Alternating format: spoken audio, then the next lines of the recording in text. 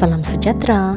Baru-baru ini, vokalis kumpulan legenda Wings, Dato Awi, ada menegur seorang penyanyi yang juga vokalis sebuah band yang dikatakan meludah ke arah penonton sewaktu mengadakan persembahan di sebuah konser. Perkara tersebut menjadi perhatian ramai memandangkan beliau mengatakan tindakan seperti itu bukanlah ciri seorang rocker tetapi menyamakan dengan perangai berok. Kenyataan daripada Awi telah menuai pelbagai respon dari netizen dan kebanyakan mereka bersetuju dengan apa yang diperkatakan.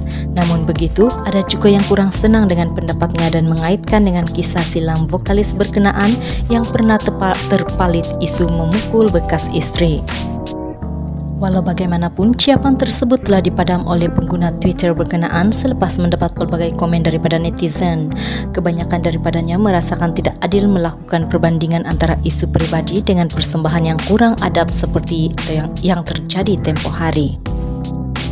Terdahulu, Awi telah mengulas isu video yang tular berkenaan persembahan seorang vokalis yang dilihat meludah ke arah penonton. Beliau menyifatkan tindakan tersebut seperti beruk dan bukanlah rocker sebenar. Beliau turut menitipkan pesan supaya para penyanyi agar tidak membawa emosi dan masalah pribadi ke atas pentas kerana boleh mencetuskan isu negatif seperti yang terjadi.